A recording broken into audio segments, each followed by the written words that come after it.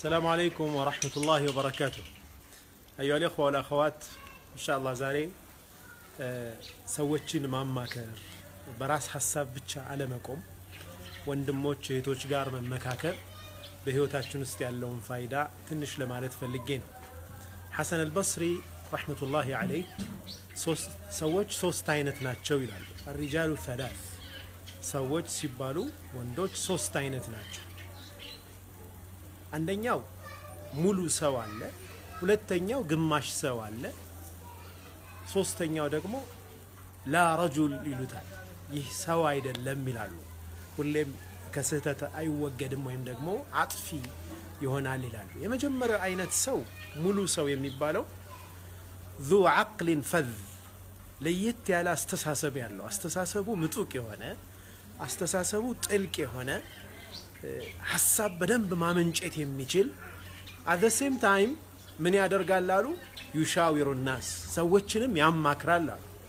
ሀሳብ ያመነጫል ጥሩ ጥሩ idea ዎች ያፈልቃል ግን በነዛ ሀሳቦች ብቻ አይገታም። ሌሎችን ሰዎችም ያማክራል ሀሳብ ይወስዳል የሌሎችንም ሰዎች። በዚህ ምክንያት ሙሉ ሰው ይሆናል አሉ። ሁለተኛው ኒስፉ ረጁል ይሉታል ግማሽ ሰው። ይህ ሰው ደግሞ ጥሩ ሀሳቦች አሉት ጥሩ በጣም የሚጠቅሙ አመለካከቶችን ወይም አስተያየቶችን ያፈልቃል። ወላ ዩሻዊሩ ናስ የሚያማክረው ወንድም እህት ግን የለውም። በራሱ ሀሳብ ብቻ የሚቆም ሰው ነው አሉ። ይህ ግማሽ ሰው ነው ይሉታል። አልተሟላ። ሶስተኛው አይነት ሰው ደግሞ ላረጁል ያሉት ሰው አይደለም ወይም ደግሞ ጥፋት ላይ ነው ሁሌ የሚሆነው ያሉት። የራሱ ጥሩ ሀሳብ የለውም የሚያመነጨው የሀሳብ የማመንጨት አቅም የለውም።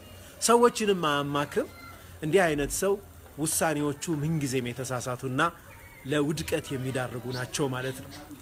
እዚህ ነጥብ ላይ የምንረዳው በየትኛውም ሀል ላይ እንሁን ሀሳባችን የመጠቀም ይሁን መካከለኛ አስተሳሰብ ያለን ወይም ደግሞ ሀሳብ ማመንጨት የማንችልም ሰዎችን ሁን ሰዎችን ማማከር በተለይ የሚመለከታቸውን ሰዎች አንድ ጉዳይ ስናስብ በዛ ጉዳይ ላይ ሀሳብ ሊሰጡን የሚችሉ ያንን ሀሳብ ለመስጠት አቅም ያላቸውን ሰዎች መርጦ ማማከር ህይወታችን ውስጥ የምንወስዳቸውን ውሳኔዎች የተስተካከሉ ያማሩ ያደርግልናል ማለት ነው።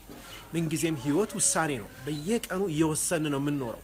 በየቀኑ ኢኮኖሚክ ህይወታችን ላይ ሃይማኖታዊ ህይወታችን ላይ ሁሉም ማህበራዊ ህይወታችን ውስጥ በሁሉም የህይወታችን ዘርፍ እንድንወስን የሚያስገድዱ በጣም በርካታ ክስተቶች ይከሰታሉ። እነኛን ውሳኔዎቻችን ከራሳችን ሀሳብ ብቻ ተመርኩዘን የምንወስን ከሆነ ውሳኔዎቻችን ሊያሳስቱን ይችላሉ። የምናማክራቸው ወንድሞች ሀሳባቸውን ልንወስድላቸው የሚገቡ እህቶች ያስፈልጉናል እንሻ አላህ ይህንን በህይወታችን እጅግ ጠቃሚ ነው ያልኩትን መልእክት ለማስተላለፍ ነው። ወጀዛኩም ላሁ ኸይረን። ሰላሙ አለይኩም ወረሕመቱላሂ ወበረካቱ